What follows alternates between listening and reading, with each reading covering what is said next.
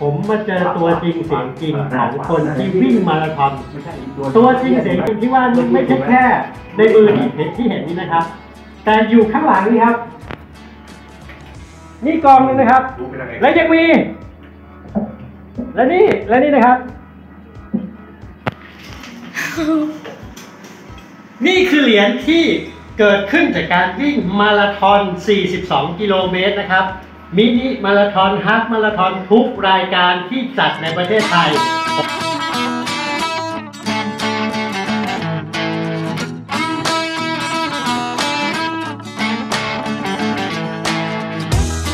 วันนี้นะครับเรามาถ่ายทำงานที่แถวแถวๆซอยนาคิวาสนะครับเอ่อ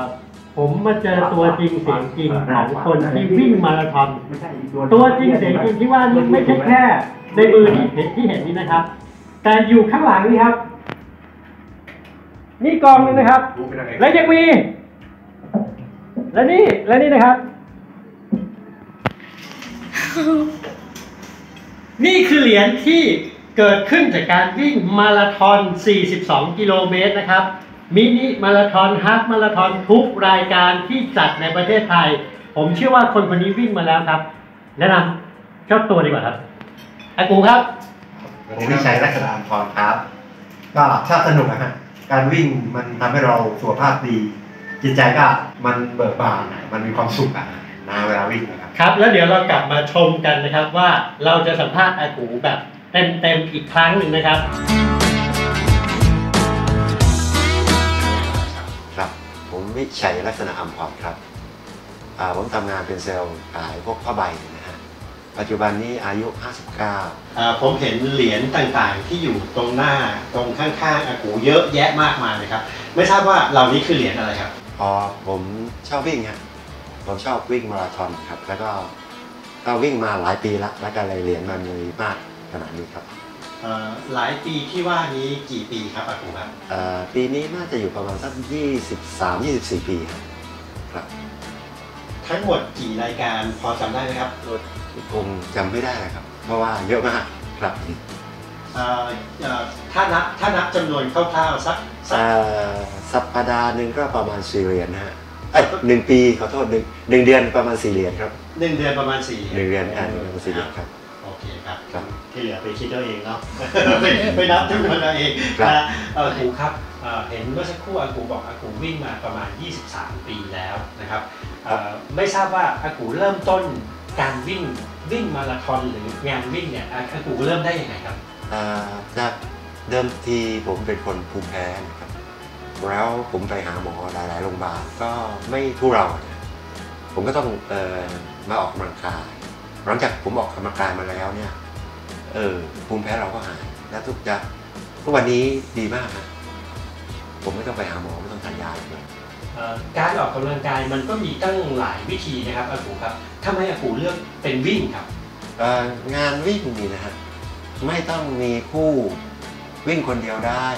รองเท้าหนึ่งคู่ไปได้แล้วครับเอ่ออากูจำได้ไหมครับว่างานวิ่งครั้งแรกของอากูเลยครับเป็นงานอะไรครับเอ่อวิ่งครั้งแรกนี่ของ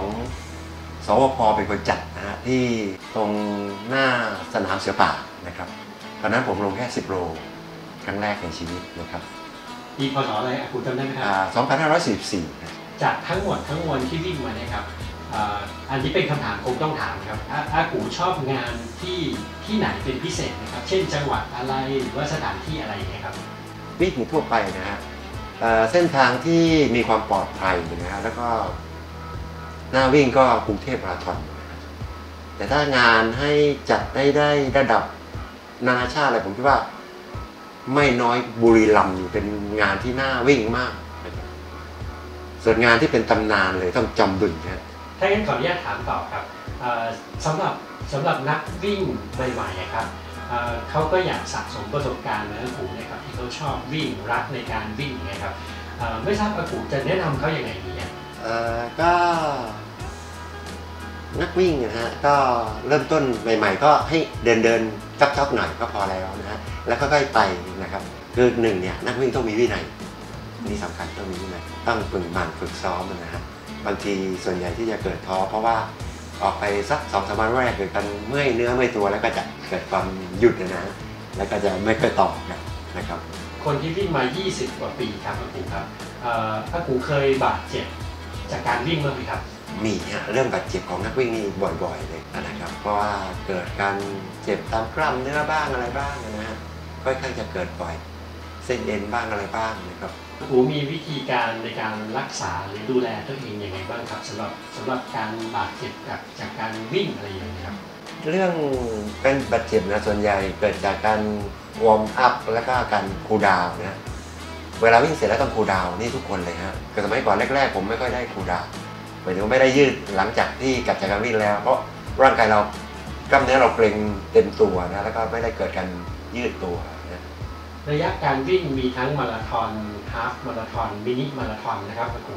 สำหรับอ่านักวิ่งทั่วไปเนี่ยอ่าอากูจะแนะนำเขายังไงดีครับเพราะว่าการวิ่งแต่ละระดับมันก็แตกต่างกัน ครับต้องถ้าวิ่งสนุกนะฮะตั้ง 10กิโลก็พอละสนุกนะครับรอ ถ้าจะให้กลางกลางๆให้เหนื่อยพอสมควรนี่ก็สักยี่สิบโล แต่ถ้าจะไปให้ถึง 42 โลเลยฟูลมาราธอนเนี่ยร่างกายนี่สองสำคัญเลยครับ ทั้งจิตใจทั้งร่างกาย ทั้งทุกอย่างต้องพร้อม เพราะว่ามันมีความเหนื่อยล้ามาก หลังจากนั้นหลังจากฮาล์ฟไปแล้วนะนี่สำคัญครับอากูชอบวิ่งระยะไหนมากที่สุดครับ ปัจจุบันนี้ผมที่เป็นโลก็กำลังสนุกครับ เพราะว่า อายุประมาณหนึ่งแล้วเนาะก็นิดหนึ่งนะครับเอ่อเมื่อสักครู่พูดถึงอ่าการวิ่งมาราธอน 42 กิโลนะครับอากูครับเอ่ออากูเตรียมตัวยังไงครับสำหรับการวิ่งมาราธอนหนึ่งต้องพักผ่อนให้ติดอิ่มเลยนะฮะแล้วเราต้องมีการเตรียมตัวที่พร้อมนะในระยะ 42 โลนะฮะ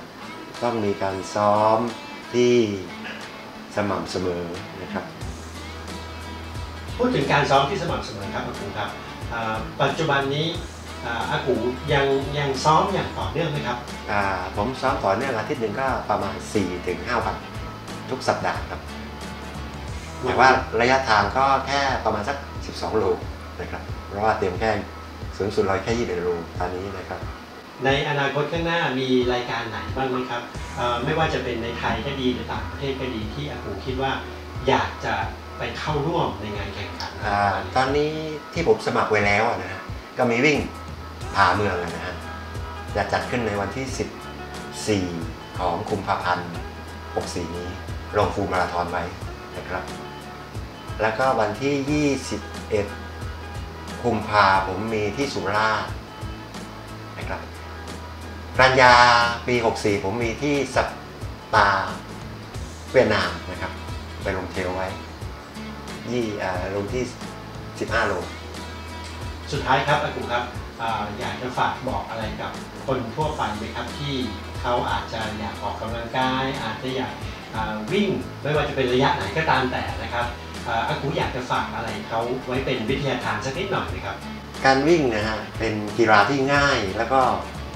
ได้สุขภาพนะฮะทำให้เราเอ่อมีความ กระพี่เปล่าเดือนหนึ่งเนี่ยมันเวลาเราวิ่งไปแล้วเรามีความสุข